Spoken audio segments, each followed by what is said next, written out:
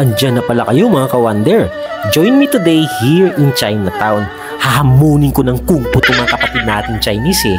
Lagi na lang kasi tayong binubuli sa West Philippine Sea. Joke lang mga kawander ha. Mababait itong mga kapatid nating Filipino-Chinese dito sa Chinatown. According to history, the Chinatown in Binondo is the oldest Chinatown in the world.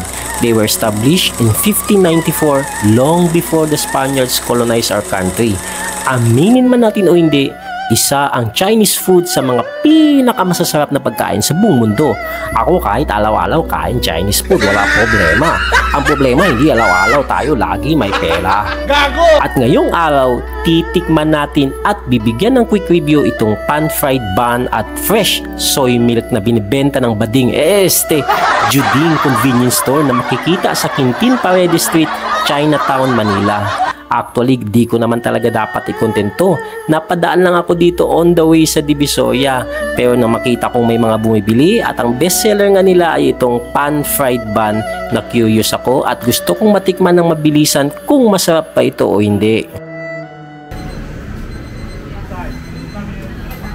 Kuya, isang ganito sa isang fresh soya. So, ayan mga kawander ha. Yung pan fried bun nila is 30 pesos isang piraso. At yung soya milk naman is 30 pesos. Tikman natin to ngayon mga kawander. Kung talagang masarap na. So yan yung cooking area nila na nakikita natin sa labas kanina mga kawander. At dito na tayo ngayon sa loob nakapwesto sa kanilang maliit na dining area. Sa likuran ko banda makikita ang kanilang grocery section. So yan mga kawander, titikman na natin yung pan nila. Fried pan. Parang siyang lasang siopaw lang din talaga. Hanapin nyo ito. Pero parang siyang tinawag na fried siopaw.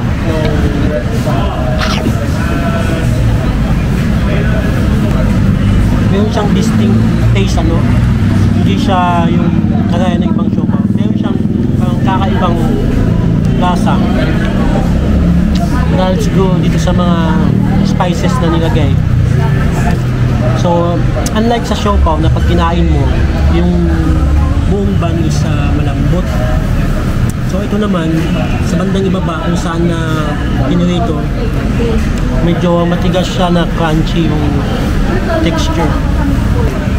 Ah, siyang lasa ano, alam mo yung bilbao, yung parang uh, tinatawag nilang Chinese chorizo.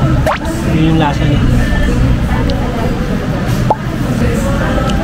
Ayun, tikman naman natin itong ano, itong soya. Soya milk nila.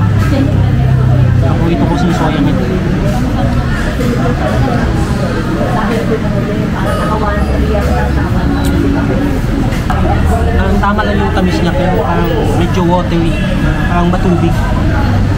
Tubig siya in a sense na may nabibili kasing ano, may nabibili kasing soya milk sa mga grocery at sa mga supermarket.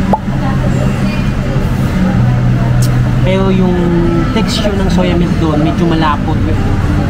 So itong soya milk naman nila is uh, hindi siya ano, hindi siya malapot. Parang tubig-tubig parang ganun.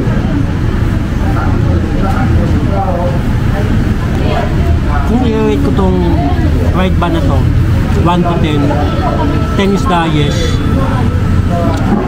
Mga 8.5. Siguro mga almost 9. Medyo okay naman.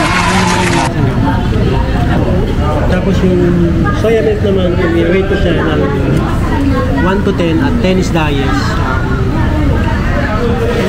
Mga 9. 9.5, ganun.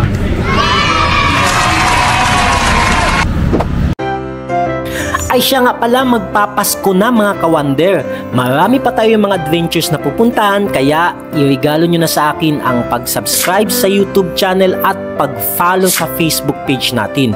O hanggang sa susunod natin na pagkikita. See you on our next adventure!